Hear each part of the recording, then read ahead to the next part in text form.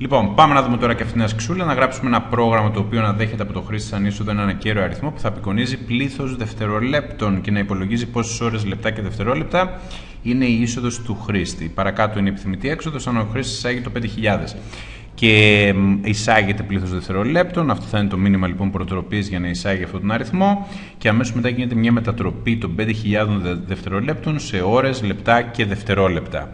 Ε, εδώ πέρα λοιπόν μας λέει υπόδειξη, μελετήστε πώς μπορείτε να χρησιμοποιήσετε τους τελεστές div και mod για να επιτύχετε το επιθυμητό αποτέλεσμα.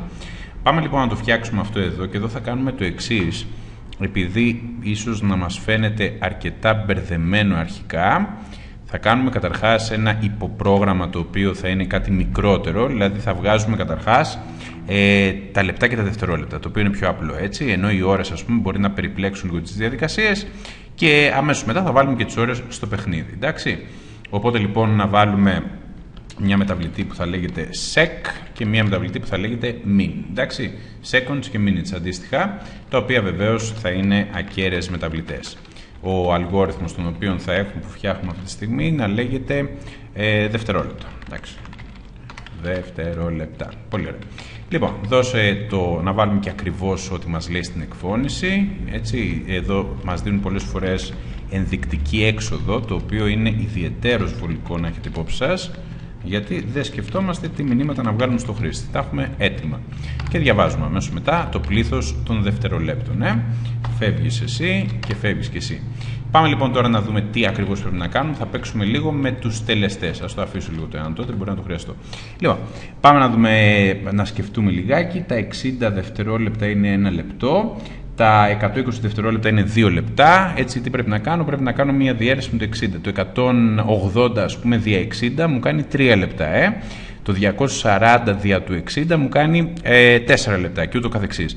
Τώρα, αν όμως έχω, για παράδειγμα, προσοχή, αν έχω 75 δευτερόλεπτα, τότε θα έχω, πρέπει να έχω 1 λεπτό και 15 δευτερόλεπτα, έτσι. Τώρα, ποιο είναι το καλό; Το καλό είναι ότι ο τελεστής της ακέραια διαίρεσης μας δίνει κατευθείαν το πηλίκο της ακέραια διαίρεσης και έτσι λοιπόν παίρνω κατευθείαν στα χέρια μου ε, το πλήθος των λεπτών. Εντάξει, πάμε να το δούμε. Στην ουσία δηλαδή αποκόπτει όλο το δεκαδικό μέρος και έτσι παίρνουμε ακριβώς το πλήθος των, των ε, λεπτών που επιθυμούμε. Άρα θα βάλουμε ότι ο υπολογισμός του min θα είναι ίσο με την ακέραια διαίρεση που θα κάνουμε στο πλήθος των δευτερολέπτων. Δηλαδή κάνω sec ακέραια διαίρεση με το 60 θα μου δώσει το πλήθος των λεπτών. Δηλαδή, αν εδώ πέρα έχω, ας πούμε, ξαναλέω το 180, εντάξει, θα, μου κάνει 3, ε.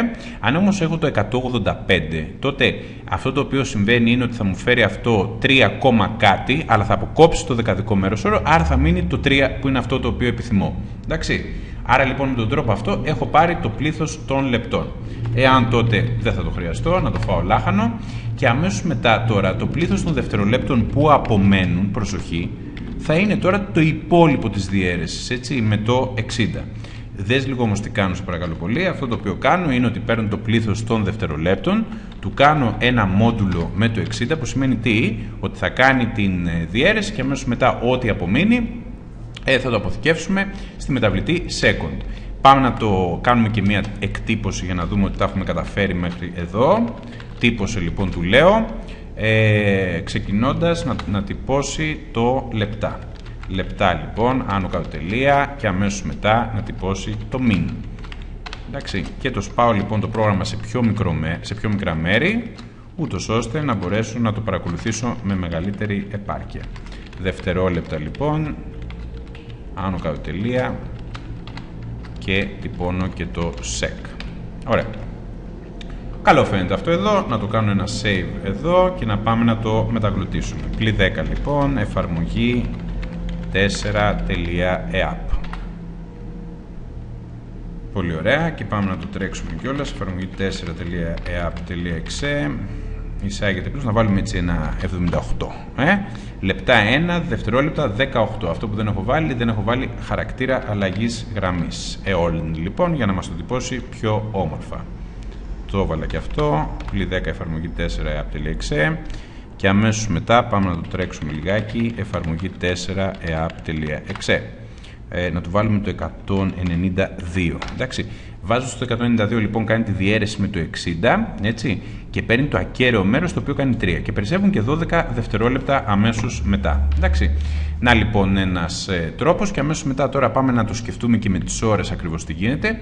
Ξέρουμε ότι μία ώρα αποτελείται από 3.600 δευτερόλεπτα, 60 επί 60 στην πραγματικότητα. Ε.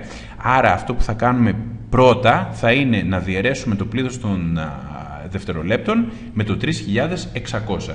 Έτσι θα πάρουμε ε, αυτομάτως το πλήθος των ε, ορών. Εντάξει. Βάζω λοιπόν και μία τρίτη μεταβλητή η οποία θα κρατήσει τις ώρες και αυτό θα το κάνουμε πρώτα. Να φάμε λάχανο δηλαδή τις ώρες. Hours λοιπόν θα είναι ίσο με τα δευτερόλεπτα που θα έχει εισάγει ο, ο χρήστης div 3600. Τώρα εδώ πέρα αυτό που πρέπει βέβαια να σκεφτώ θα είναι ότι τα δευτερόλεπτα που θα απομείνουν όταν κάνουμε τη διέρεση και οι ώρες φάνε ε, το, το πολλαπλάσιο του 3600. Αυτό το οποίο θα απομείνει λοιπόν, με αυτό με το οποίο θα απομείνει θα ασχοληθώ αμέσως μετά για να δω πόσα λεπτά είναι. Έτσι, προσοχή. Συνεπώς το sec θα είναι το sec μόντουλο 3600. Το τρώμε και αυτό εδώ και τώρα ε, αμέσως μετά ό,τι έχει απομείνει θα έχει αποθηκευτεί στην μεταβλητή Second. Σου θυμίζω ότι είναι ένα κουτί στη μνήμη το οποίο κρατάει μόνο την τελευταία τιμή. Άρα λοιπόν κανονικά αυτό το πράγμα θα πρέπει να λειτουργήσει. Να βγάλουμε όμως και την κατάλληλη εκτύπωση εδώ, να τυπώσει πρώτα και τις ώρες. Τυπώνει τις ώρες, η οποία, το οποίο απεικονίζεται στη μεταβλητή hours. Και μετά χρειάζομαι και τον χαρακτήρα αλλαγής γραμμής, το EOLN, τυπώνεται και αυτό εδώ και είμαστε μια χαρά. Εντάξει, άρα λοιπόν ένα div και ένα mod κάθε φορά, το υπόλοιπο και, το, και, το, και ακέρα διαίρεση, πάρα πολύ σημαντικό κομμάτι στον προγραμματισμό, θα δούμε και άλλες χρήσεις του.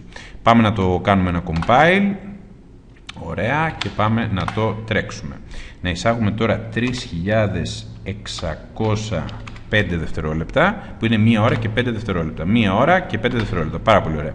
Πάμε να το ξανατρέξουμε. 3.885 δευτερόλεπτα. Μία ώρα, 4 λεπτά και 45 δευτερόλεπτα. Πάμε να το τρέξουμε και με το παράδειγμα της εκφώνησης. 5.000. Μία ώρα, 23 λεπτά και 20 δευτερόλεπτα. Πάρα πολύ ωραία. Αυτά λοιπόν όσον αφορά το πηλίκο και το υπόλοιπο της διαίρεση. Δύο σημαντικοί τελεστές που είναι συχνοί στη χρήση του προγραμματισμού.